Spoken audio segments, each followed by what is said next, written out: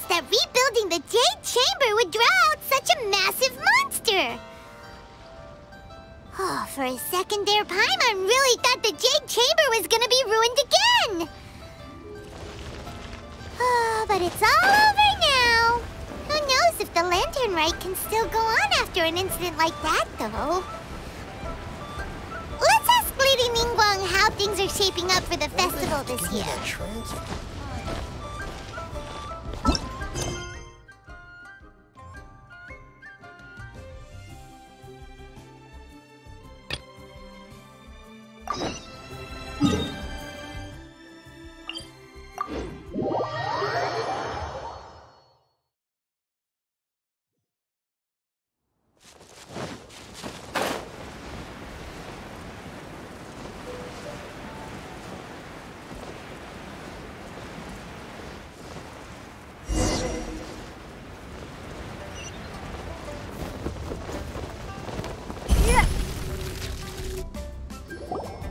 Send this report to the Ministry of Civil Affairs and have them delegate each of the tasks on the list to the appropriate departments.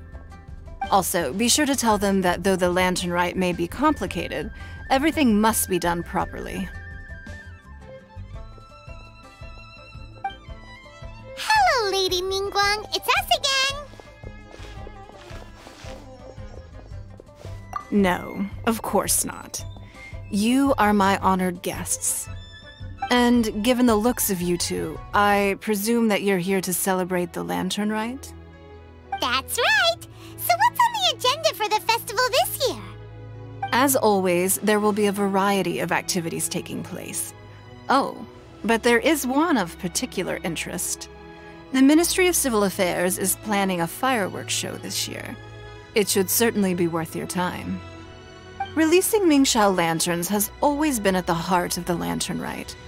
But with all that has occurred in Liyue as of late, I think the people of the city need something to warm their hearts. A feeling of everyone coming together in solidarity. So, I believe that this year calls for a celebration of particular magnificence, something that would be closer to the hearts of every citizen.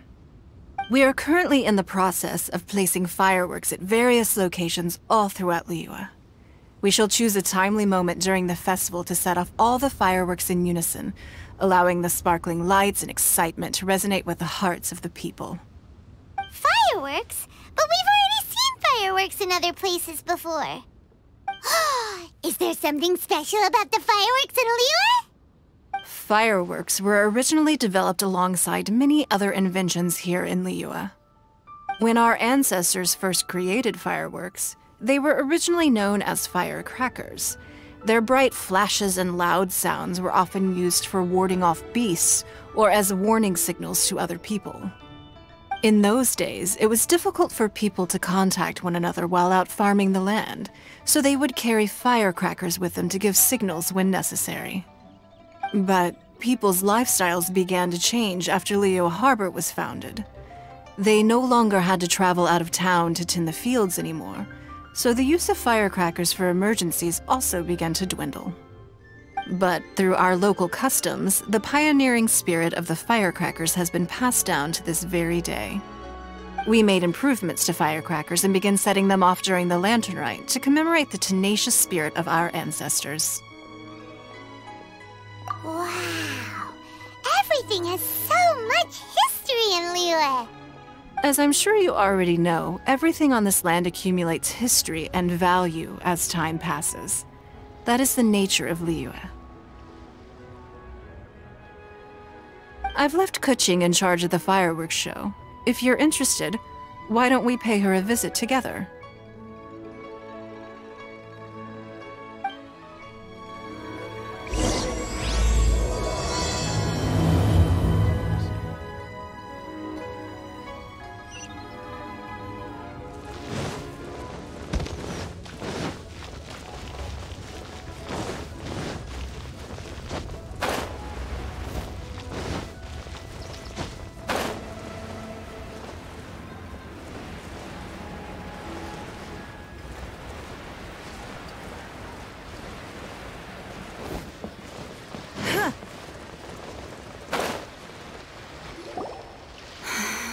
Need to add a few more locations for launching fireworks. The show has to be visible all across Liyue, not just in the city. They celebrate Lantern Rite in Qingce Village too, you know. but, Lady Keqing, what about our budget? The budget is exactly what it's meant to be. It's the necessary amount of funds to properly carry out a task. If you think the current budget will not suffice, then we'll simply have to apply for more funding from the Ministry of Civil Affairs and wait for their approval. Our aim is to organize a memorable Lantern Rite. The budget is there just to facilitate planning. We mustn't lose sight of our goal. Yes, Lady Keqing. I understand. Good. And please remember, safety first. Hmm? oh, it's Ningguang and the Traveler. Good to see you. Are you here for the Lantern Rite? Your timing couldn't be any better. The preparations are almost complete. I'm reviewing the positioning of the fireworks and double-checking the relevant facilities. It's all in a day's work. Forgive my directness, but if I'm not mistaken, you could just as easily leave these tasks to your subordinates. You've already been working around the clock these past few days. I am sure a break would not be amiss. Uh, no, no, it's fine. Really, I can handle it. Pengyi, Please redraft our plans, make a summary report, and send it to the Ministry of Civil Affairs. I'm going into town to check the progress of the fireworks setup. I'll return shortly. As for you, Traveler, you're our esteemed guest. Please take the opportunity to stay in Liyue Harbor and enjoy the festivities. Pengyi, is everything clear? Please remember the tasks I've given you. Yes, Lady Keqing. Don't worry. Good. Ningguang, Traveler, goodbye for now.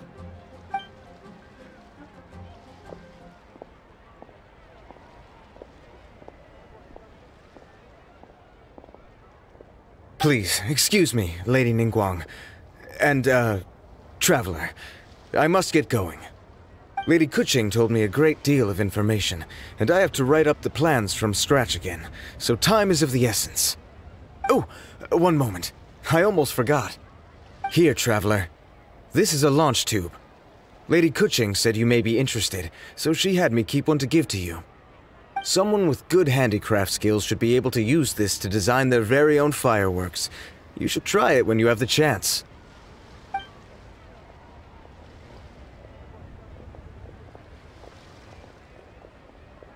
Whew. Paimon couldn't get a single word in just now. Uh, well, more like Paimon didn't dare open her mouth while they were talking, but still. Did you notice it too? Lady Keqing is a lot more outspoken than she used to be. And she seems a whole lot busier too. Wonder why? Ever since the Adepti left Liyue Harbor in the hands of mortals, we Qixing have taken up the responsibility of leading the people. We have taken charge of many vital tasks in various sectors, and we are responsible for planning and organizing all sorts of affairs. That said, being in charge of everything inevitably takes its toll. It's exhausting at times. Jiangzhou was responsible for planning the Lantern Rite in former years, but her father is getting quite old now, so she transferred to another department this year.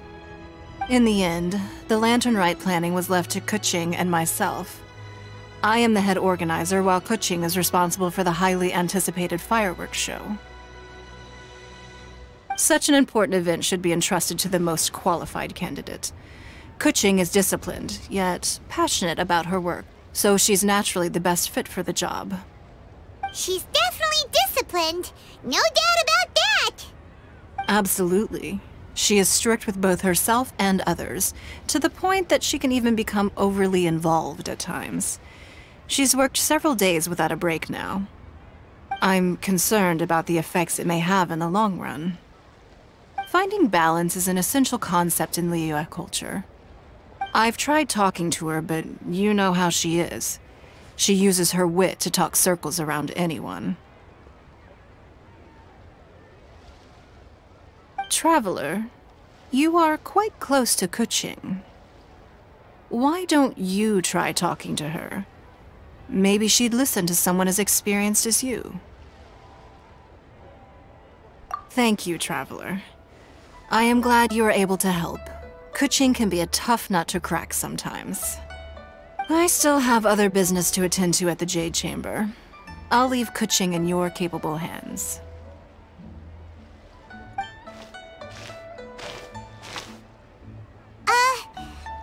Sure you can really persuade Keqing to take a break? Even Ningguang herself couldn't manage to convince her. Besides, before you can persuade someone, you have to at least understand how they feel at the moment. Keqing has been working non-stop without a break. Uh, duh! Come on, everyone knows that. Think harder. How does she feel deep down inside?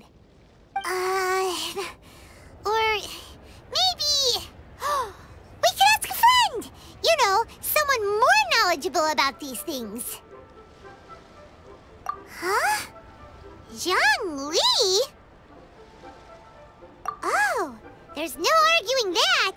Zhongli it is then. Hmm, Paimon thinks he's still a consultant at the Wangsheng Funeral Parlor.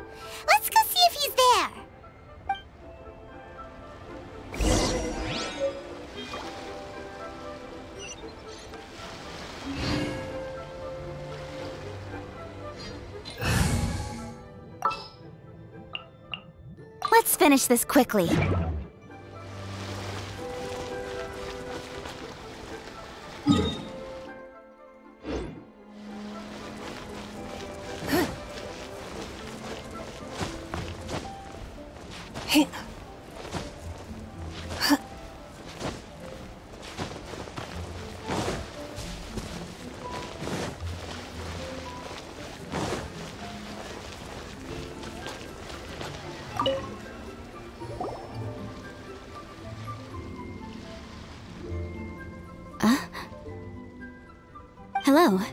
How may I help you? Ah, yes. Well, I'm afraid he is currently out with the director. Out with the director? Oh, you mean for work? The director said that they were going for a walk. If you'd prefer, you could go look for them at third round knockout. I've heard the director often goes there to do, uh, promotion.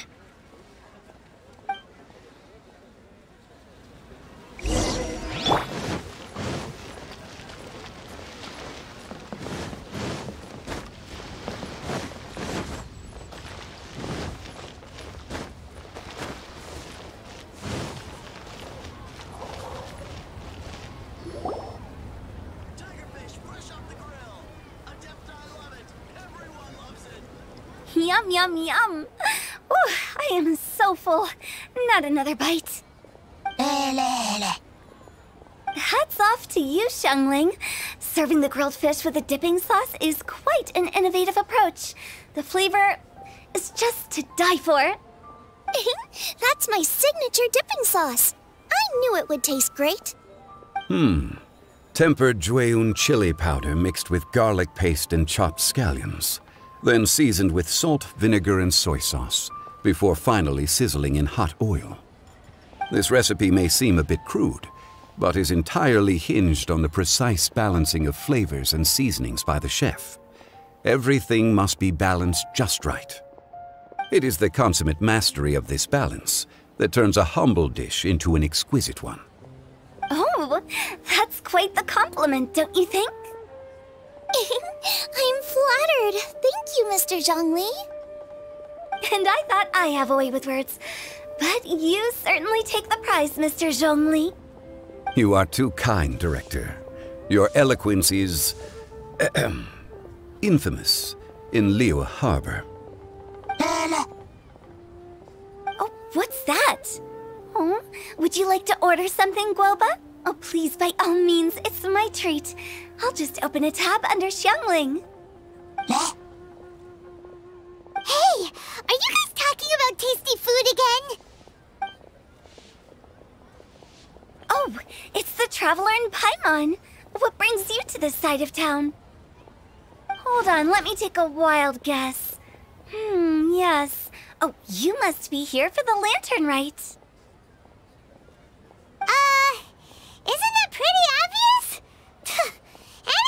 Guess that. Oh, yeah, come on. Can't you take a joke? You came at the perfect time. I was just letting everyone try my latest dish. The owner of Third Round Knockout says it's, uh, well, a real knockout. Mr. Zhongli and Hu Tao seem to like it too, but I think it never hurts to let more people do a taste test. How about it, you two? Would you like to have a taste? Huh. Don't have to ask Paimon twice. Or once, even. Huh? You mean we're not gonna try any? Oh, fine. Let's get down to business. We meet again, traveler. I trust your journey is going well? Splendid. Therein lies the value of a journey. So come on. Why are you looking for our good consultant? Do enlighten us. And just in case you were wondering, we're on business too. We only tried Xiangling's dish since we just happened to be here. Business? What kind of business would the Wangsheng Funeral Parlor possibly have during a festival? Even during the most joyous of holidays, life still follows its natural course, does it not? Is that really so surprising? but there isn't a need to be alarmed. It's just a nice day today, and I thought we could go for a walk while doing a little promotion for our business. Oh, you could go ahead and chat away. Xiangling and I will go have some tea with the boss over there. Oh, Zhongli, please come get me when you're through here. Of course. I'll see you later, Director. Now then, traveler, what brings you to see me today?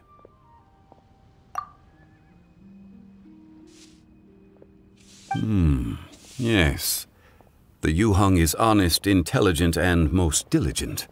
She is capable of shouldering responsibilities that few others could. But everything has a balance, and one's health must certainly weigh in.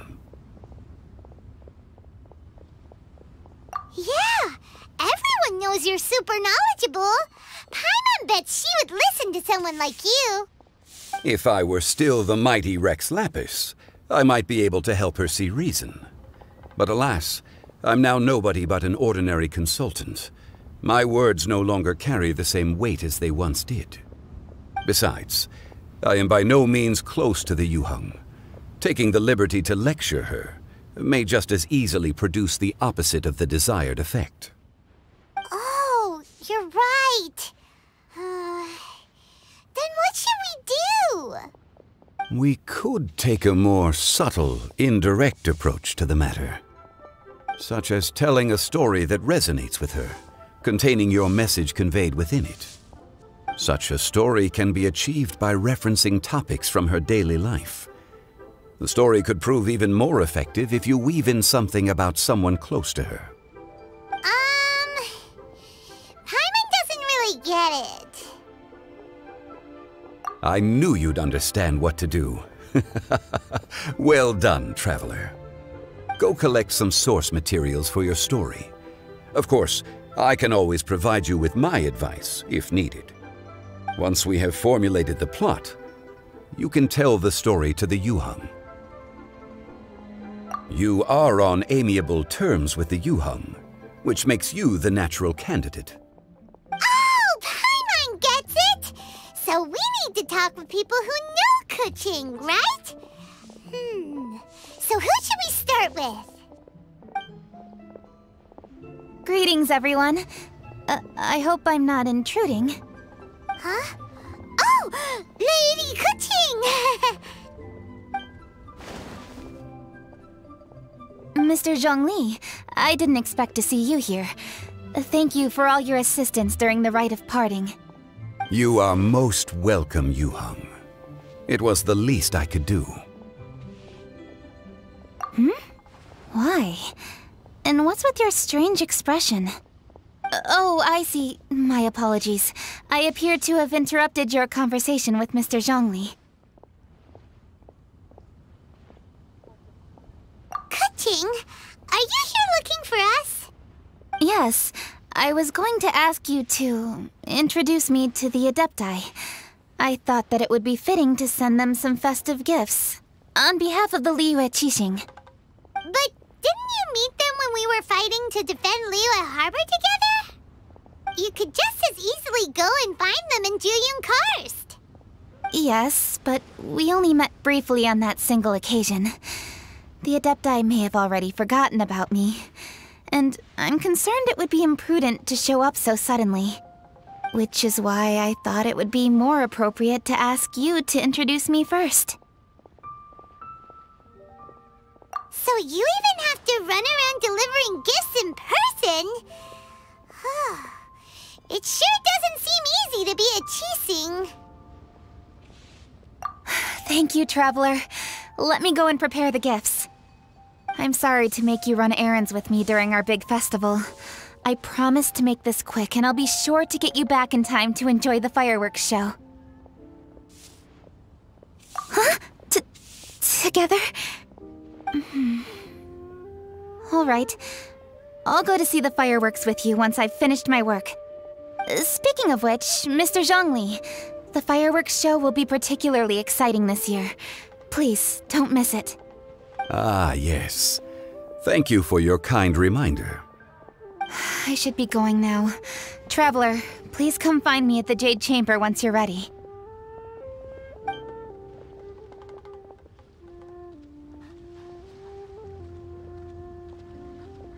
And there she goes. That's the Yuheng. Efficient and reliable as ever. You're really reliable too, Zhongli. Why, thank you, Paimon. Please, don't forget our earlier conversation. Once you've collected enough story material, we can meet here again and discuss things further.